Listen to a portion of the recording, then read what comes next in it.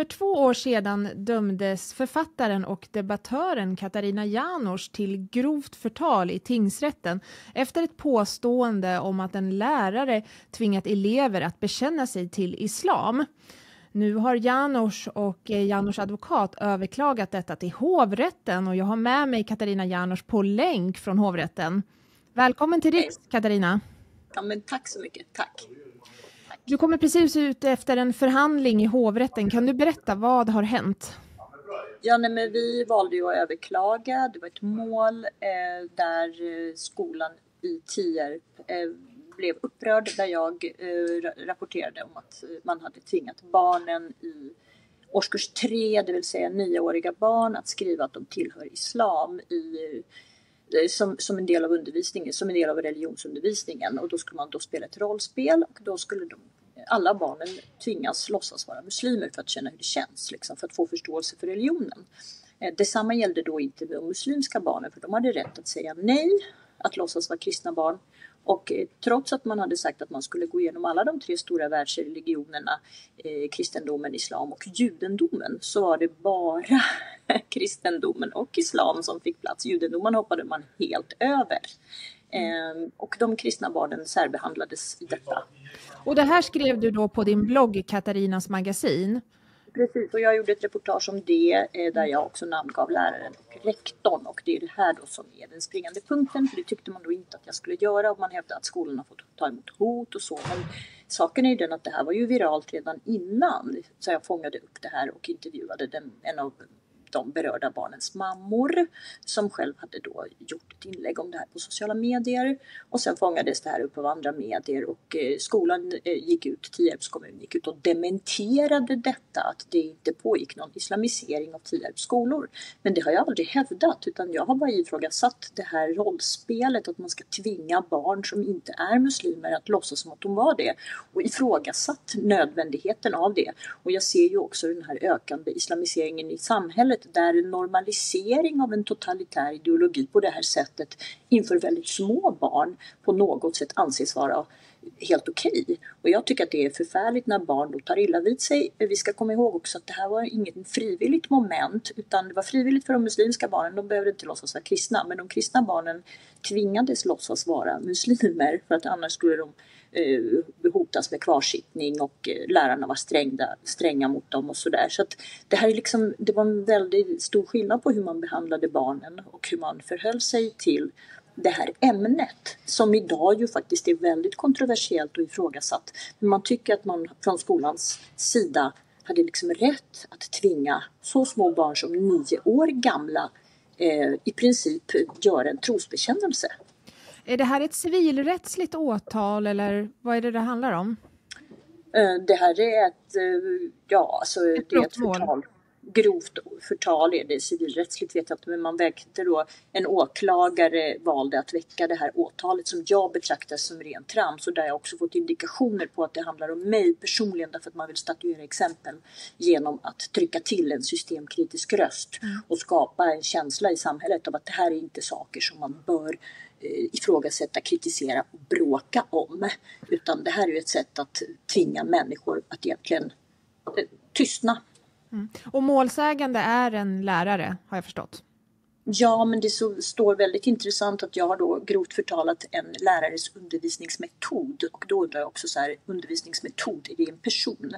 Att, jag, att man inte ska få kritisera metoder, det anser jag vara väldigt, väldigt märkligt. För det är precis vad vi måste göra. Vi måste, i egenskap av eh, journalister och debattörer, så måste vi ju lyfta saker som är problem i samhället. Och där ser jag det som min plikt, att när jag ser fel begås, Eh, också barnens perspektiv är för mig det väsentliga här. Jag bryr mig faktiskt inte om hur lärare och skola mår. Jag bryr mig faktiskt om små barn som blir utsatta, som jag ser det, för indoktrinering och hjärntvätt i skolans regi av auktoriteter mot vilka de inte har egentligen någonting att sätta emot. För skolan är ju en väldigt auktoritär, liksom ett auktoritärt verktyg som samhället de facto står bakom.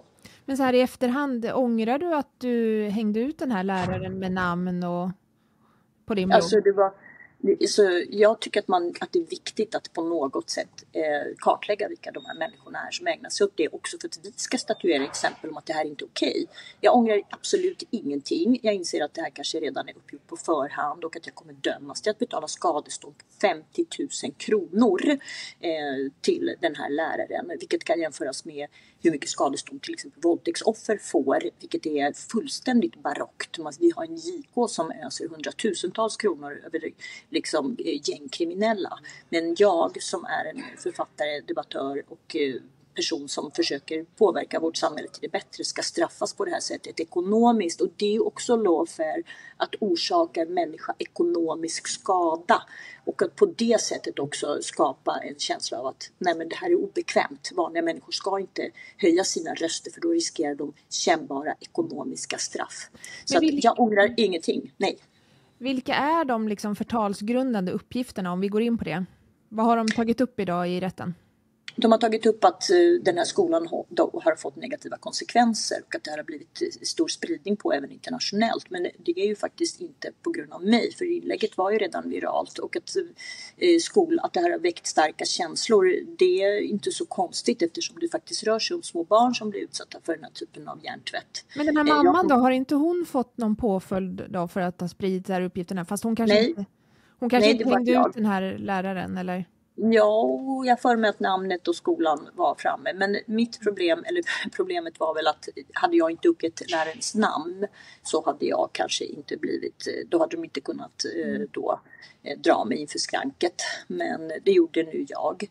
Och jag skrev också i en påföljande opinionstext där jag inte namngav läraren och jag namngav henne inte heller på Twitter att eh, jag kommer fortsätta att granska den här typen av maktmissbruk som mm lärare och skolor och andra myndighetspersoner ägnar sig åt. Men eh, det som är själva, eh, de menar på i grunden för grovt förtal är att jag har då eh, uppgett hennes namn egentligen och på det sättet försökt att se till att hon blir missaktad. För det, förtalsrubriceringen står ju på tre ben kan man säga. Mm. Att man ska antingen ange att någon är kriminell eller har en klandervärd levande och ingenting av det gäller ju men, eller att jag ska då försöka väcka andras missaktning. Vilket inte heller har varit avsikt, men det är det man försöker göra om det är försvarsbart att jag har publicerat namnet. Så det är det här som hovrätten ska ta ställning till. Mm. Hade det gjort någon skillnad om du hade haft utgivningsbevis? Jag vet inte, har Katarina Magasin? Eh, nej, jag har inte haft det. Det vet jag faktiskt inte. Kanske hade det gjort skillnad. Mm. Och eh, domen faller nu om några veckor. Vad, vad har du för förhoppningar? Nej, jag tror att det är uppgjort på förhand. Jag har ju fått indikationer att det här handlar om mig personligen. Det här handlar egentligen inte om själva caset utan det handlar om att jag som den person jag är och den profil jag är, den medieprofil jag är som har en systemkritisk eh, eh, eh, verksamhet helt enkelt ska sättas dit. Så att det är en bestraffning av mig som Katarina Janouch, inte liksom generellt. Utan, och därför har jag inte så gott hopp, även om man gör juridik utav det här. För att som jag ser det nu så är ju rättsväsendet ganska eh, kört i Sverige och man mm. utnyttjar det helt felaktigt, eh, på helt felaktiga grunder. Men självklart hoppas jag bli frikänd och slippa betala. Mm. Du kan i alla fall inte straffas hårdare eh, än eh, de fem. Du kan inte få mer skadestånd eh, om, eh, efter den här domen. Det vet jag faktiskt inte. Så det, det, är inte klart. Och jag har ju sett att Joakim Lamotte till exempel har fått mera eh, påföljd ekonomiskt än från början efter att han har överklagat. Så att vad som helst kan väl hända. Jag eh, har inga som helst illusioner om att det här ska gå bra, även om jag givetvis hoppas på det. Jag vill tacka alla för stöd, för jag har fått enormt mycket stöd. Så att, eh, det betyder väldigt mycket. Det gör ju att jag orkar, för att jag har ändå hållit på och kämpat i sju år mot galna liksom, system och myndigheter och medier, mainstream-medier och alla. Eh, ja, det, det, är liksom, ah, det har varit en tuff resa. Och din advokat Sargon Dabasso, vad, vad sa han idag? Han hade en väldigt bra framställning där han försökte visa, eller han visade att det här rör sig egentligen om juridik och i juridisk mening så är det inte försvarsbart att jag ska dömas för det här överhuvudtaget. Mm. Vi får se hur det går om några veckor, Katarina Janouch. Ja, det gör vi. Tack ja. för att jag fick vara med här. Tack så jättemycket för att eh, du var med här idag och tack för att ni tittade.